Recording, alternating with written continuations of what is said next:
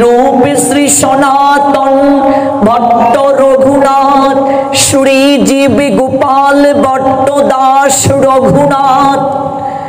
আমি এই ছয় গুসাইরি কৌরি চরণ বন্দন, যাহা হতে বিঘ্ন নাশ অবিষ্ট পূরণ। এই ছয় গুসাই চরণ বন্ধ জগতে বিঘ্ন নাশ অবিষিত পুর।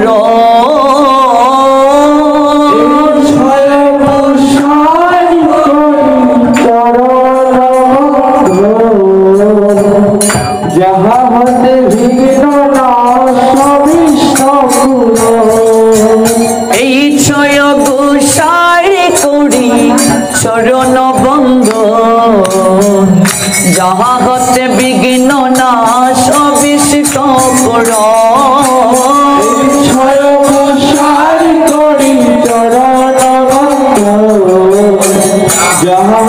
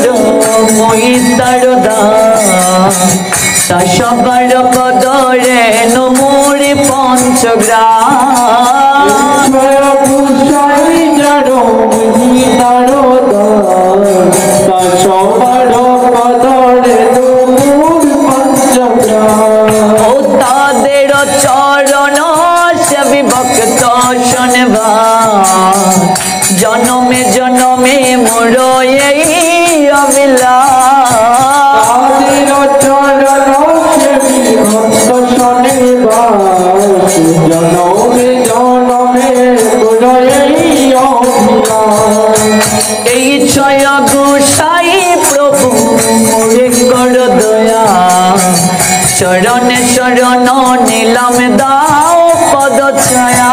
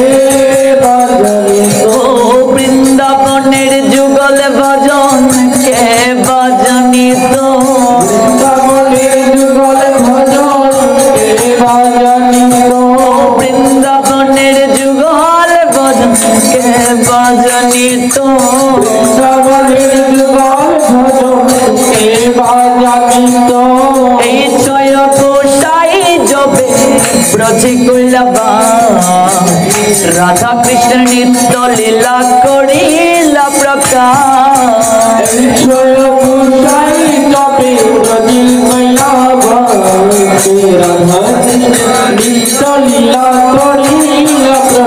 প্রকাশ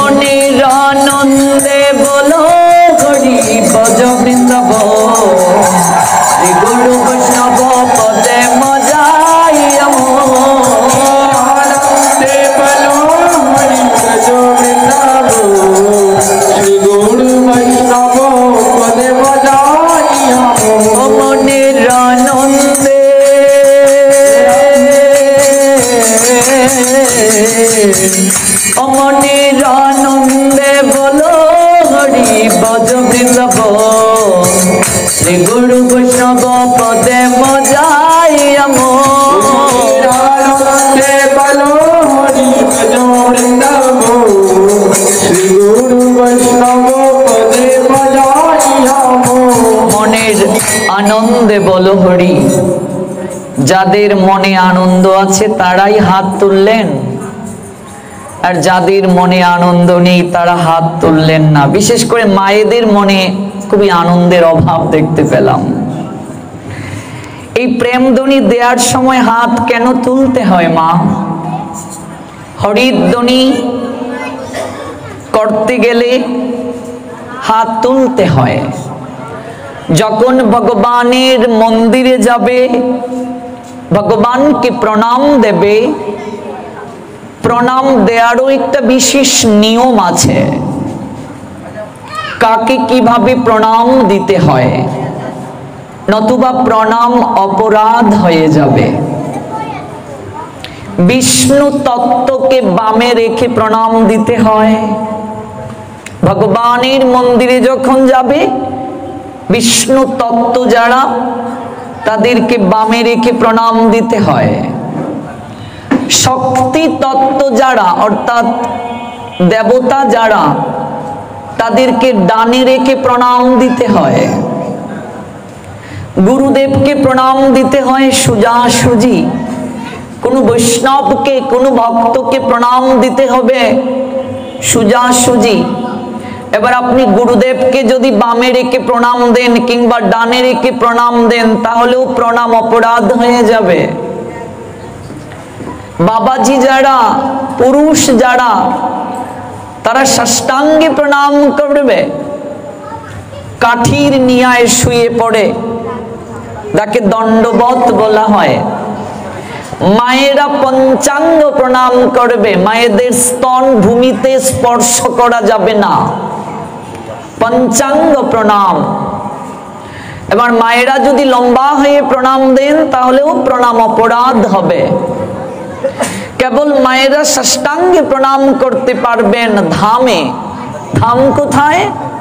আপনি বৃন্দাবনে গিয়েছেন, নবদ্বীপে গিয়েছেন পুরী ধামে গিয়েছেন। সেখানে কোনো বিচার নেই। কিন্তু বাকি জায়গায় যে আপনি প্রণাম দেবেন, প্রণামের বিশেষ কিছু নিয়ম আছে। এই নিয়মগুলো না জানলে প্রণাম অপরাধ হবে। ভগবানের মন্দিরে যখন যাবে, ভগবানকে দর্শন করার পর এই দুটো হাত প্রথমে তুলতে হবে। গুরুদেবকে যখন প্রণাম দেবে, প্রথমে গিয়ে দর্শন। দর্শন কেন? যাকে দর্শন করিলে সর্বপাপ দূরে যায়। দর্শন মানে দেখা। বিগ্রহের দিকে কিছুটা সময় থাকিয়ে থাকতে হবে। তারপর এই দুটো হাত তুলতে হবে। তারপর প্রণাম গিয়ে প্রণাম নয়। এই দুটো হাত কেন তুলতে হয়? বিগ্রহে প্রণাম দেওয়ার প্রারম্ভিকায় হাত দুটো এমন করে তুলতে হবে। প্রেমধ্বনি যখন হয়, হরিধ্বনি যখন হয়, এই দুটো হাত এমন করে তুলতে হবে। এই হাত তোলার মানে কি, মা? এই হাত তোলার অর্থ হচ্ছে আত্মসমর্পণ করা। আত্মসমর্পণ। দীক্ষাকালে শিষ্য করে আত্মসমর্পণ। যেদিন গুরুদেব কর্ণমূলে আপনাকে বীজ মন্ত্র প্রদান করেছেন, সেদিন আপনার সমস্ত কিছু আপনি গুরুচরণে সমর্পণ করে দিয়েছেন। আপনি প্রতিজ্ঞা করেছেন, আজ থেকে গুরুদেব আপনার সমস্ত নির্দেশ আমি মেনে চলব। কিন্তু আদৌ কি আমরা পালন করতে পারছি, মা? এই জন্য প্রত্যেক দিন তার সামনে এসে এই হাত দুটি তুলে স্যালেন্ডার করতে হবে। গুরুদেব, তোমাকে দেওয়া প্রতিশ্রুতি পালন করতে পারছি না।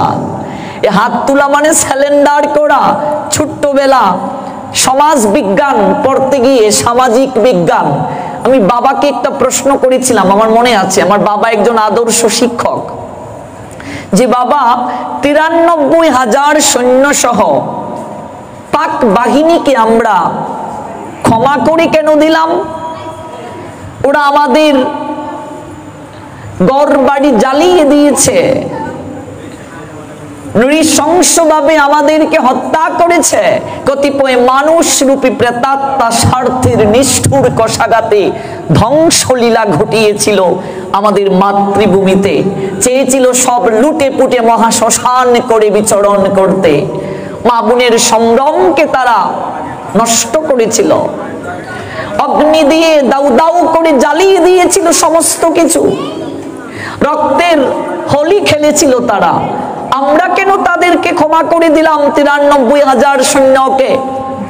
আমরা তো তাদেরকে গুলি করে মারতে পারতাম। তখন বাবা বললেন, দেখো, তুমি যে বইটা পড়ছো সে জায়গায় দেখো, বন্দুক হাতে নিয়ে এমন করে একটা ছবি আছে। আমি বললাম হ্যাঁ বাবা আছে।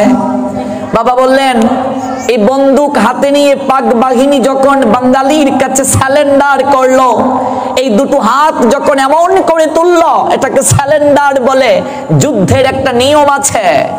কেউ যদি স্যালেন্ডার করে নেয়, আত্মসমর্পণ করে নেয়, তখন আপনি তাকে আর মারতে পারবেন না। আপনি পিছন থেকে আঘাত করলে যুদ্ধের নীতি বিরুদ্ধ আচরণ হবে। আপনি তাকে স্যালেন্ডারের পর যদি যুদ্ধে মারতে যান, যুদ্ধের নিয়ম ভঙ্গ করা হবে। স্যালেন্ডার করেছে বাঙালির কাছে। আর তখন বাঙালি মহানুভবতায় আসীন তারা। ওরা মহত্ব দেখিয়েছে তিরানব্বই হাজার সৈন্য সহ হুসেন শহীদ সোহারার্দির উদ্যানে। তাদেরকে আমরা ক্ষমা করে দিয়ে দিয়েছি। এই দুটো হাত তোলা মানে সমর্পণ স্যালেন্ডার করা।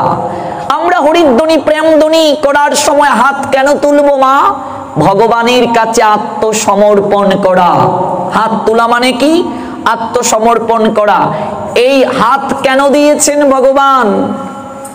আজকে হাত তোলার শক্তি আছে, কিন্তু আমরা অনেকে লজ্জায় হাত দুটো তুলি না। অনেকেই ভাবেন, শীতের সময় চাদরের নিচে হাতটা রেখেছি। না তুলতে আলস্য হচ্ছে, প্রয়োজন নেই তোলার। এই হাতে শক্তি আছে, হাত দুটো তুলতে পারছি না। এই পা কেন দিয়েছেন ভগবান? হাত কেন দিয়েছেন? চুপ কেন দিয়েছেন? এই নাসিকা কেন দিয়েছেন? জিহবা কেন দিয়েছেন? এই প্রত্যেকটা ইন্দ্রিয়ের পশ্চাতে একটা কারণ আছে। মুন্ডক উপনিষদ আমাদেরকে বলছেন, এই দেহটা একটা বৃক্ষ মা। দেহ বৃক্ষে অসংখ্য পাপ পাখি বসে আছে। কেউ যদি হাতে তালি দিয়ে কীর্তন করে, এই দেহ বৃক্ষে সমস্ত পাপ পাখি উড়ে চলে যায়। এবার গাছের নিচে যদি আপনি ধীরে ধীরে তালি করেন, তাহলে কি পাখি শুনবে? শুনবে না। হাতে তালি দিয়ে যদি আপনি হরিনাম করেন, আপনার হৃদয়ে শান্তি আসবে। আর মনে রাখবেন হৃদয় যখন স্থির হবে না, শান্ত হবে না, শান্তি পাওয়া যাবে না, এই শ্রী শ্রীরাম ঠাকুর চমৎকার ভাবে বলছেন, শান্ত হও, তাহলেই শান্তি পাবে। শান্ত না হলে কখনো শান্তি হৃদয়ে আসে না। স্থির স্থির করার জন্যই মন্ত্র জপ করতে হবে, এটা রাম ঠাকুরের কথা, মন্ত্র। মন মানে হৃদয়, ত্র মানে তারণ করা। মনের সমস্ত উদ্বিগ্নতা যাহা জপের মাধ্যমে তাড়িত হয়, তাকে মন্ত্র বলা হয়। শ্রী শ্রী রাম ঠাকুর বলছেন মন্ত্র। মন মানে হৃদয়, ত্র মানে তারণ করা। মনের সমস্ত অনাবিলতা যাহা জপের মাধ্যমে দূরীভূত হয়, তাহাকে মন্ত্র বলে। আর এই শ্রীকৃষ্ণ চৈতন্য মহাপ্রভু যিনি কলিযুগের পরমেশ্বর ভগবান, তিনি এই মন্ত্রের মাঝে মহাশক্তি দান করেছেন। এই জন্য হরে কৃষ্ণ মহামন্ত্র এটাকে বলা হয়, মহামন্ত্র। মন্ত্রের মাঝে মহাশক্তি দান করা হয়েছে। প্রত্যেকটা যুগেই মহামন্ত্র ছিল, কিন্তু মহামন্ত্রের মাঝে মহাশক্তি ছিল না। এই কলিযুগে কেবল আমরা মহামন্ত্রের মাঝে মহাশক্তি পেয়েছি। আর এই মহাশক্তিটা হচ্ছে প্রেমের শক্তি, আর এই প্রেমময়ী হচ্ছেন শ্রীমতী রাধারানী। আমরা শুনব ধীরে ধীরে এই প্রেমময়ী শ্রী শ্রী রাধা ঠাকুরানীর আবির্ভাব তিথি উপলক্ষে এই সাত দিন ব্যাপী অপ্রাকৃত কথা আমরা ধীরে ধীরে এগুলো শুনব। মহাশক্তি দান করেছেন মহামন্ত্রের মাঝে। ওই মন্ত্র যখন জপ করবে, হৃদয় শান্ত হবে। আর শান্ত না হলে শান্তি কখনো পাবে না। শান্তি আসবে না। স্থির যদি চিত্ত না হয় স্থিরতা আসবে না। চিত্ত শান্ত না হলে শান্তি পাওয়া যাবে না।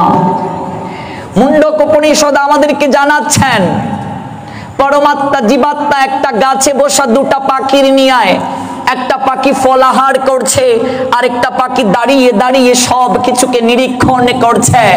জীবাত্মা রূপী পাখিটাকে পরমাত্মা রূপী পাখিটা বলছে, বন্ধু, কবে তুমি সংসার নামক এই বৃক্ষের কামনা বাসনার ফলাহার থেকে নিজেকে রত করে আমার দিকে ফিরে থাকাবে আর সেই দিন আমি তোমাকে জড়িয়ে ধরব।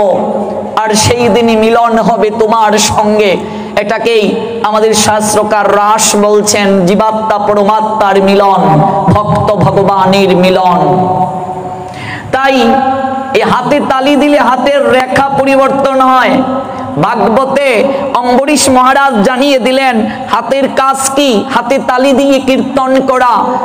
গৌর হরি বলছেন, দশে পাঁচে মিলে সবে দাঁড়েতে বসিয়া কীর্তন করো সবে হাতে তালি দিয়া। সারাদিন যদি সময় নাও পাও, অন্তত সন্ধ্যার দিকে পরিবারের সবাইকে নিয়ে একটু বসো।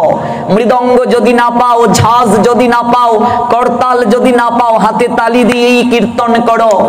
কীর্তন করো সবে হাতে তালি দিয়া। এ হাত দিয়েছেন ভগবানের বিগ্রহের শৃঙ্গার করার জন্য, ভগবানের জন্য, রন্ধন করার জন্য, এই মন্দিরকে মার্জন করার জন্য, এই মন্দির মার্জন করলে আমাদের হৃদয়ে মার্জন হয়। ওই ভবনদী যাওয়ার পথের পঙ্কিলতা ধুয়ে মুছে পরিষ্কার হয়ে যায়। এ হাত দিয়েছেন ভগবানের জন্য, রন্ধন করার জন্য, গুরুদেবের সেবায়, সাধু বৈষ্ণবের সেবায় এই হাতকে ডেডিকেট করতে হবে। পা কেন দিয়েছেন? যেখানে সাধু সঙ্গ হবে সেই জায়গায় হেঁটে যাওয়ার জন্য। মন্দিরে হেঁটে যাওয়ার জন্য। এই পা দিয়েছেন, নৃত্য করার জন্য হরিনাম করে। এই চুপ কেন দিয়েছেন? ভগবানের বিগ্রহকে দর্শন করার জন্য, সাধু গুরু বৈষ্ণব দর্শন করার জন্য, দর্শনে পবিত্র করো এই তোমার গুণ। এই নাসিকা দিয়েছেন ভগবানের চরণে অর্পিত তুলসী পত্রের পুষ্পের গ্রাণ নেয়ার জন্য। এই কান দিয়েছেন ভগবানের কথাকে শ্রবণ করার জন্য, মুখ দিয়েছেন ভগবানের কথা, কীর্তন করার জন্য, জিহবা দিয়েছেন ভগবানের প্রসাদ গ্রহণ করার জন্য। দেখো মা, রাস্তায় একবার দাঁড়িয়ে দেখো কোনো রেল স্টেশনের পাশে কত লোকের হাত নেই, কতজনের পা নেই, কতজন জন্ম থেকে অন্ধ। তাদের থেকে নিশ্চয়ই ভগবান আমাদেরকে ভালো রেখেছেন। হাত দুটো সচল আছে এখনও, পা দুটো এখনও চলতে পারে, এখনও দুটো চোখ দেখতে পায়। একটু কি তার প্রতি কৃতজ্ঞতা জ্ঞাপন করা উচিত নয়? হে প্রভু, তাদের থেকে তুমি আমাকে ভালো রেখেছ। একটু কি কৃতজ্ঞতা জ্ঞাপন করা উচিত নয়? ভেবে দেখো। আজকে শরীর সচল আছে। পা দুটো মন্দিরে যেতে চায় না সাধু সঙ্গে যেতে চায় না। এ হাত দুটো উর্তন করতে চায় না, উঠানো। উর্তন করে কীর্তন করতে মন চায় না। এমন একদিন সময় আসবে মা, মন চাইলেও হাত দুটি আর তুলতে পারবে না। দেহ থাকিতে সবল, হরে কৃষ্ণ বল, অঙ্গ অবশৈলে লইতে পারবে না। ভজন করতে হয় শরীরে শক্তি থাকতে। অচল হয়ে গেলে ভজন হয় না। লজ্জা ঘৃণা ভয়, তিন থাকতে ধর্ম নাহি হয়। লজ্জা, ঘৃণা আর ভয়, এই তিনটি হৃদয়ে থাকলে ধর্ম প্রতিপালন হয় না। হাত কতটুকু তুলব, না তুললে কি হয়? শাস্ত্রকার বলে দিলেন, এ হাত দুটি দিয়েছি, এ হাত যদি আমার সেবায় কেউ না লাগায় ভগবান বলছেন। পরবর্তী জন্মে আমি তাকে অঙ্গহীন করে জগতের বুকে জন্ম দেব। অঙ্গহীন।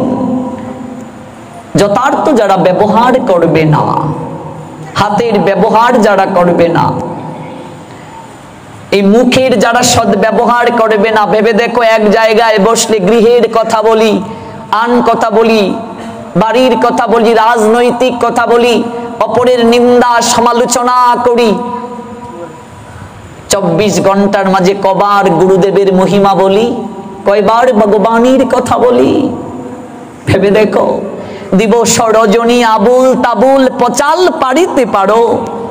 তাহারও ভিতরে কখনো কি গোবিন্দ বলিতে নারো? ভজিব বলিয়া কহিয়া আইলে, ভুলিলে কি সুখ পাইয়া? কথা দিয়ে এসেছিলাম ভগবানের কাছে, তোমার আরাধনা করব সব কিছু ভুলে গেছি। এই জন্যই মুখের সদ্ব্যবহার করতে হবে। মহাসাধিকা শ্রী শ্রীমা আনন্দময়ী বলেছিলেন, এই জগতে কৃষ্ণ কথাই কেবল কথা, বাকি সব বৃতার ব্যথা। জগতে সমস্ত কথার মাঝে দুঃখ আছে, কিন্তু কৃষ্ণ কথার মাঝে কেবল আনন্দ আর আনন্দ। কতটুকু হাত তুলবে? দেখো এই যে গৌর টাঙ্গিয়ে রেখেছো তোমরা চিত্রপটে। তিনি কীভাবে হাত তুলেছেন? মহাপ্রভুর চিত্রপটে হাত এমন করে তুলতে হয় মা। কেউ এইভাবে হাত তুলে, কেউ এতটুকু হাত তুলে, হাত তুলতে হবে এমন করে। কারণ পূর্ণভাবে স্যালেন্ডার যদি না করো, ভগবান তোমাকে কৃপা করবেন না। নিজের বলে যদি কিছু রাখো, আর যদি ভগবানকে কিছু দাও। কখনো ভগবত কৃপা হয় না। ত্যাগ সম্পূর্ণভাবেই করতে হয়। এই জন্যই তো আঠারোশো বাহাত্তর সালে শ্রী শ্রীরাম ঠাকুর গৃহ ত্যাগ করেছিলেন। এইটিন সেভেন্টি টু সংসার ত্যাগ করে চলে গিয়েছিলেন। কোথায় গিয়েছিলেন? অজানা পথে। ব্রহ্মের সন্ধানে। ইষ্টের সন্ধানে। পূর্ণরূপে ত্যাগ যাকে বলে এই ত্যাগ যতদিন পর্যন্ত হৃদয়ে না আসবে, ততদিন পর্যন্ত ত্যাগের যিনি মূর্ধ ফলক, সেই প্রেমময়ের সন্ধান পাওয়া যায় না। নিজের বলে যদি কেউ কিছু রাখে, আর ভগবানকে যদি কিছু দেয়, ভগবান তাকে কৃপা করেন না। এই জন্যই তো দ্রৌপদী এক হাতে ভগবানকে ডাকছিলেন। যখন দুঃশাসন তার কাপড় টানছিল, কুরুক্ষেত্রে আমরা দেখতে পাই, এই যে যুদ্ধ হলো, যুদ্ধের যতগুলো কারণ আছে, তন্মধ্যে একটা কারণ হচ্ছে নারীর সম্ভ্রম প্রতিষ্ঠা। নারীর সম্মানকে প্রতিষ্ঠিত করা। দুঃশাসন বস্ত্র ধরে টানছিল দ্রৌপদীর। দ্রৌপদী এক হাতে বস্ত্রকে সামলাচ্ছেন, আরেক হাতে ভগবানকে ডাকছেন। রুক্মিণী সত্যবামা জাম্বুবতী ভগবানের মহিষী যারা, তন্মধ্যে প্রধান মহিষী রুক্মিণী, তিনি ভগবান গোবিন্দকে বলছেন, হে গোবিন্দ, তুমি যাকে সখী বলে ডাকো, যে তোমার সক্য প্রেমের ভক্ত, আজকে সম্মান রক্ষার আকিঞ্চনে তোমায় ডাকছে প্রভু। কেন তুমি তাকে কৃপা করছ না? ভগবান বলছেন, আমি তো কৃপা করতেই চাই, প্রিয়া, দ্রৌপদী তো কৃপা নিতে চায় না। কেউ যদি নিজের বলে কিছু রাখে, আমাকে কিছু দেয়, আমি তাকে কৃপা করি না। আরে দ্রৌপদীর তো পূর্ণরূপে আমার প্রতি বিশ্বাস নেই। বিশ্বাস থাকলে দু হাত তুলে আমাকে ডাকতো। সে তো এক হাতে আমায় ডাকছে, আরেক হাতে নিজেই কাপড়কে সামলাচ্ছে। কেউ যদি নিজের বলে কিছু রাখে, আর আমাকে কিছু দেয়, আমি তাকে কৃপা করি না। আমি তাকে কৃপা করি না। এই জন্য ভগবান কৃপা করছেন না। যখন দেখলেন দ্রৌপদীর আর নিজের পক্ষে কাপড় সামলানো সম্ভব নয় তখন তিনি দুহাত তুলে ভগবানের কাছে আত্মসমর্পণ করে প্রাণ উগারিয়া ডাকছিলেন, কৃষ্ণায় বাসুদেবায়, হরহে পরমাত্মনে প্রণত ক্লেশ নাশায় শ্রী গোবিন্দায় নম নমঃ। তখন ভগবান অনন্ত আকারে বস্ত্রের মাঝে নিজেকে সৃষ্টি করে দ্রৌপদীর সম্মানকে রক্ষা করেছিলেন। দুঃশাসনে বস্ত্র ধরে টানতে টানতে ক্লান্ত হয়ে গিয়েছিল। রাজসভায় বস্ত্রের স্তূপাকার হয়ে গিয়েছিল। সভাসদ সবাই উপলব্ধি করতে পারল। অনন্তকাল ধরে এই বস্ত্রকে যদি টানা হয়, এই বস্ত্র কখনো শেষ হবে না। কারণ এই বস্ত্রের বাজে স্বয়ং ভগবান বিরাজ করছেন ভেবে দেখো মা, পূর্ণ শরণাগতি কাকে বলে? আমরা বস্ত্র হরণ লীলায় দেখতে পাই। ভাগবতে গোপীগণ, ভগবানকে বলছিলেন, বস্ত্র দাও, এমন করে ভগবান কৃপা করেননি। আর এই বস্ত্র হরণ লীলাটা একদিন আলোচনা করব। যখন ভগবান গোপীদের বস্ত্র হরণ করেছিলেন, তখন গোপীদের বয়স ছিল সাত বছরের নিচে। আর আজকে এই সিরিয়ালগুলোতে যে কৃষ্ণ লীলাগুলো দেখাচ্ছে ধর্মটাকে সম্পূর্ণভাবে ব্যবসার মাধ্যম তৈরি করে এই সকল মূর্খ পরিচালকেরা, যাদের কোনো ধর্মীয় জ্ঞান নেই, কৃষ্ণের বয়স ছিল নয় বছরের নিচে, রাধারানীর বয়স ছিল সাত বছরের নিচে, রাধা গোবিন্দের লীলা সম্পূর্ণ নিষ্কাম, বিন্দুমাত্র কামনা ছিল না। আর বস্ত্রহরণ যখন গোপীদের করা হয়েছিল, তখন গোপীদের বয়স ছিল ছয় বছরের নিচে প্রত্যেক জনের একটা পাঁচ বছরের বাচ্চাকে যদি কেউ জড়িয়ে ধরে সমাজ কখনো খারাপ চোখে দেখে না। রাধা গোবিন্দের রাসটা সম্পূর্ণ নিষ্কাম, দেহের ঊর্ধ্বে। অথচ আজকে serial, Star Jalsha, Colors Bangla, Zee Bangla ইত্যাদিতে যে সিরিয়ালগুলো দেখানো হচ্ছে, কৃষ্ণের বয়স যুবক, কৃষ্ণ যুবতী মনে রাখবেন, কৃষ্ণ রাধা যারা সাজবে, তাদের বয়স অবশ্যই নয় বছরের নিচে হতে হবে।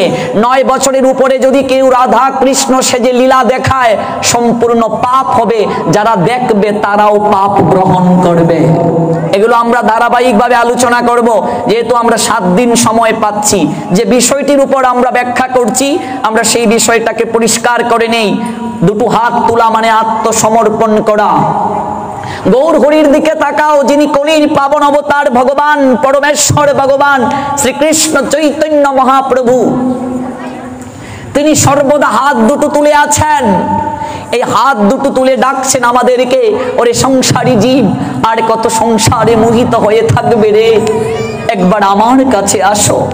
এই দুটি হাত তুলে গৌর হরি, ভগবান হয়ে তিনি আজ রাধা ভাবে বিমূর হয়ে, রাধা ভাবে বিমূর গুড়া দুই নয়নে বহি ধারা, ফিরে চায় না কথা, কয়ে না মনে বাতার আছে কি? রাধা ভাবে বিমূর হয়ে গৌর হরি তিনি হাত দুটো তুলে ডাকছেন আমাদেরকে, আমি স্বয়ং ভগবান। এই দুটো হাত তুলে তাদেরকে শিক্ষা দিচ্ছি, আপনি আচরে প্রভু জীবের শেখায়, আপনি না চলিলে জীবকে শেখানো না যায়। এই দুটো হাত তুলে সংসারী জীবদেরকে বলছেন, ওরে, আমি ভগবান হয়ে এই দুটো হাত তুলে তোদের কাছে মিনতি করে বলছি, তোরা একবার শুধু মুখে হরি। আনন্দে বলো হরি।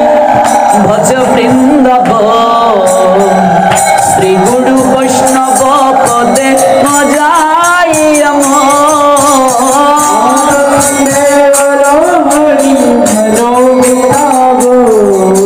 শ্রী গুরু বৈষ্ণব পদে বজাইয়া ও শ্রী গুরু বৈষ্ণব পদ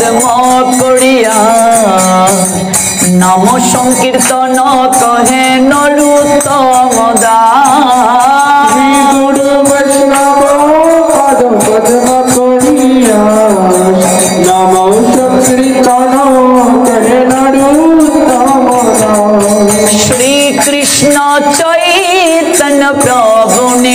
নিত্যানন্দ শ্রী অদ্বৈত গদাধর শ্রী বাসাদি গৌর ভক্ত বৃন্দ কৃষ্ণ চৈতন্য প্রভু নিত্যানন্দ শ্রী অদ্বৈত গদাধর শিবাসাদি গৌর ভক্ত জয় শ্রী কৃষ্ণ চৈতন্য প্রভু নিত্যানন্দ শ্রী অদ্বৈত গদাধর শ্রী বাসাদি গৌর ভক্ত বৃন্দ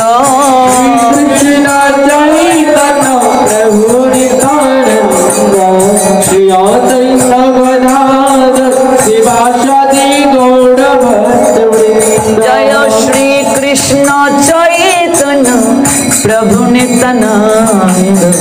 শ্রী অদ্বৈত গদাধর শ্রী বাসাদি গৌর ভক্ত বৃন্দ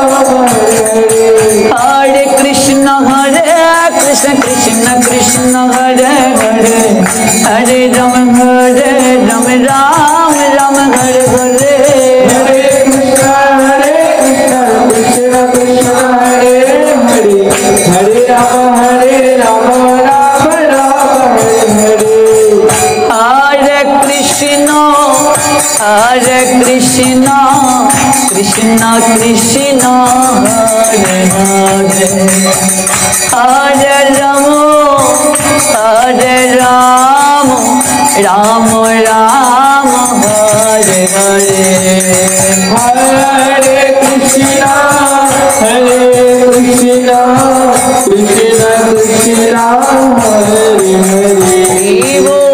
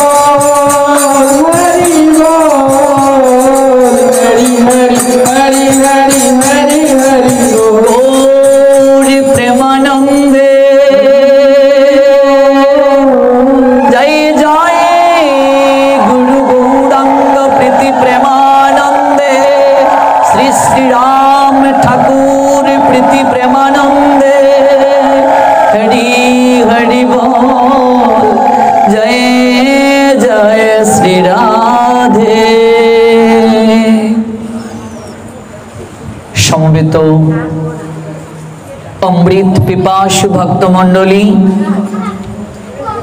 প্রেমময়ী শ্রী শ্রী রাধা ঠাকুরানীর আবির্ভাব তিথি উপলক্ষে সপ্তাহ কৃষ্ণ কথা সাধন করার মনোরথে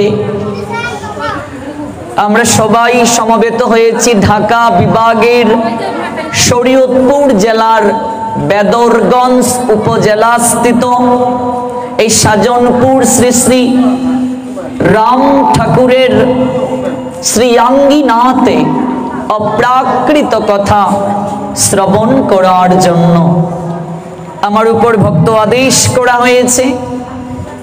ভগবানের অপ্রাকৃত কথা অমৃতে সবাইকে অভিষিক্ত করার জন্য আমি সেদিক থেকে অজ্ঞ অধম বাজন এই বেশ আসনে বসার বিন্দুমাত্র যোগ্যতাও আমার নেই। তথাপি কেবল ভক্ত আদেশকে রক্ষা করার মনোরথে, আপনাদের মতো সাধু বৈষ্ণবের চরণদুলি প্রাপ্তির মনোরথে আপনাদের চরণ তলে ছুটে এসেছি। এই সপ্তাহ ব্যাপী কৃষ্ণ কথা শ্রবণের আজকের এই প্রারম্ভিক রজনীতে বহু দূর দূরান্ত থেকে যারা অপ্রাকৃত কথা শ্রবণ করার জন্য মহাসাধক সিদ্ধ মহাপুরুষ শ্রী শ্রীরাম ঠাকুর মন্দির প্রাঙ্গণে উপনীত হয়েছেন, উপবেশিত হয়েছেন এবং এই অনলাইনের মাধ্যমে বাংলাদেশ তথা বিশ্বের অনেক দেশ থেকে যারা এই প্রোগ্রামটিকে দেখছেন কিংবা পরবর্তীতে ইউটিউবে বিশ্বের বহু দেশ থেকে যারা এই অপ্রাকৃত কথা শ্রবণ মনন করবেন আপনাদের প্রত্যেককেই বৈষ্ণব জ্ঞানে ভক্তিপূর্ণ প্রণাম নিবেদন করছি। বাঞ্চা কল্পতরুভ্যাশ্চ কৃপা সিন্ধু বয়বচ, পতিতানাং পাবনেব্য বৈষ্ণবেব্য নম নমঃ। আপনারা এই শরীয়তপুর জেলাবাসী অনেক সৌভাগ্যবান, কারণ এই দক্ষিণবঙ্গে চৈতন্য মহাপ্রভুর অনেক পার্শ্বদের জন্মস্থান এবং অনেক সাধক, অনেক মহাপুরুষের আবির্ভাব স্থান, জন্মস্থান আপনাদের এই দক্ষিণবঙ্গের বিভিন্ন জেলায়। তন্মধ্যে আপনাদের এই শরীয়তপুর জেলার ভক্তরা বিশেষভাবে সৌভাগ্যবান। তার কারণ আমরা জারাঙ্গিনাতে এই প্রাকৃত কথা শ্রবণ করছি। সেই পরম দয়াল শ্রী শ্রীরাম ঠাকুর আঠারোশো ষাট খ্রিস্টাব্দের দোসরা ফেব্রুয়ারি, তৎকালীন ব্রিটিশ ভারত। বর্তমানে সেটা পূর্ববঙ্গ তথা বাংলাদেশ, তৎকালীন ব্রিটিশ ভারতের শরীয়তপুর জেলা তো ছিল না, ফরিদপুর তৎকালীন সময়ে। ব্রিটিশ ভারতের বাংলা প্রদেশ ফরিদপুরের এই ডিঙ্গামানিকে বর্তমানে শরীয়তপুর জেলার নড়িয়া উপজেলা স্থিত ডিঙ্গামানিক সেই জায়গাতে আঠারোশো ষাট খ্রিস্টাব্দের দোসরা ফেব্রুয়ারি শ্রী শ্রী রাধা মাধব চক্রবর্তী এবং শ্রীমতী কমলা দেবীর কুল আলো করে মহাসাধক শ্রী শ্রী রাম ঠাকুর আবির্ভূত হয়েছিলেন। পদ্মার পারে আবির্ভূত হয়ে সমস্ত ভারতবর্ষ তথা বিশ্বের সনাতন ধর্মাবলম্বীদেরকে তিনি আলোর দিশা দেখিয়েছেন। আর সেই আলোর দিশার পূর্ণ সাক্ষী এবং সেই পূর্ণ স্থান, আবির্ভাব স্থানের জন্মস্থানের আপনারা হচ্ছেন চিরসাক্ষী, চিরসতেজ, আপনারা ধন্যাতি ধন্য। কাজেই সেই মহাসাধকের চরণ বন্ধনা করছি। তৎপর এই পুণ্য ধামে আপনারা যারা জন্ম নিয়েছেন, আপনাদেরও আমি চরণ বন্ধনা করছি। আপনারা পরম সৌভাগ্যবান, আপনারা ধন্যাতি ধন্য, আপনাদের চরণ ধুলি প্রার্থী। আমার সৌভাগ্য হয়েছে এই নোয়াখালীতে প্রবচন করার। আমার গত বছর এগারো দিন মাঝদিঘি শ্রী শ্রীরাম ঠাকুর জন্মোৎসব মন্দিরে অনুষ্ঠান ছিল। এই বছর এক মাস দুই দিন নোয়াখালীতে আমার প্রবচন।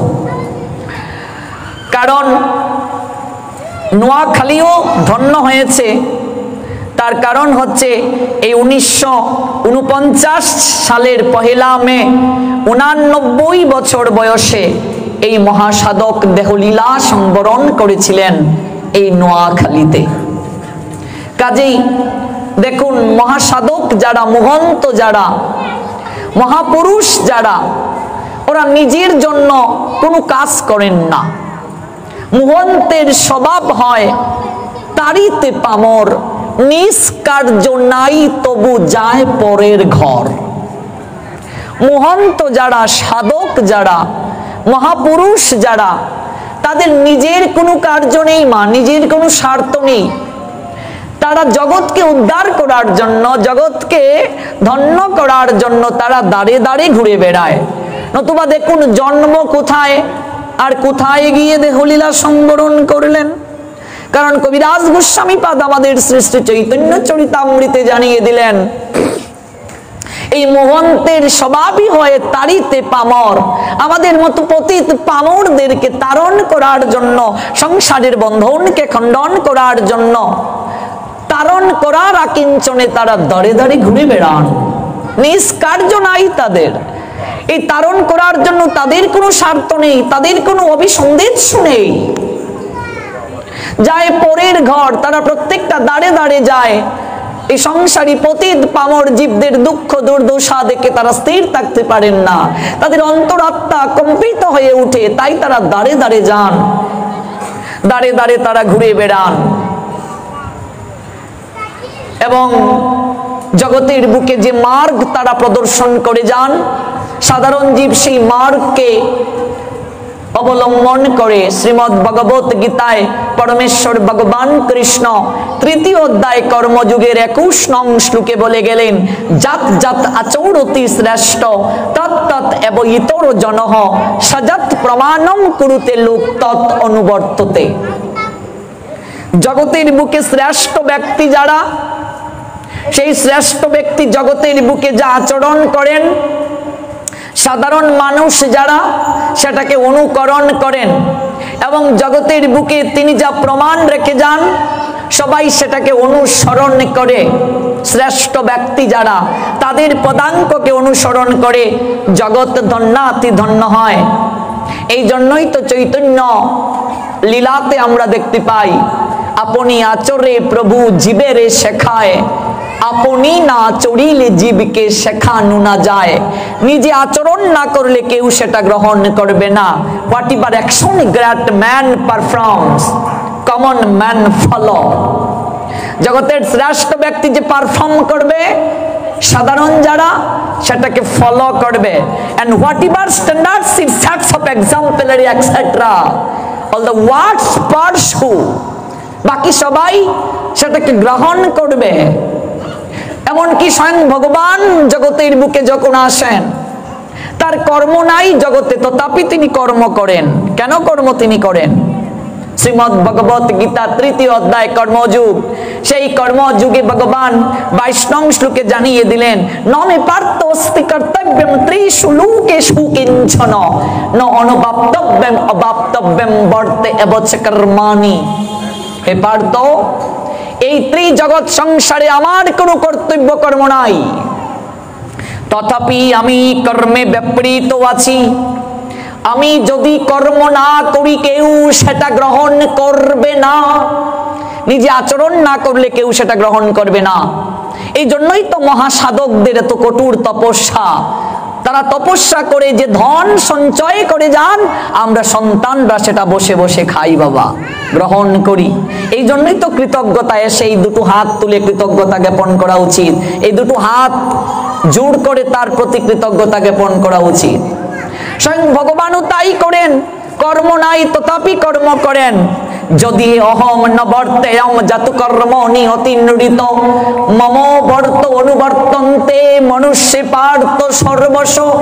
হে পার্থ, আমি যদি ও নলস হয়ে কর্তব্য কর্মে প্রবৃত্ত না হই, আমার অনুবর্তী হয়ে সমস্ত মানুষেই কর্ম ত্যাগ করবে, আর সেই দায় আমাকে নিতে হবে।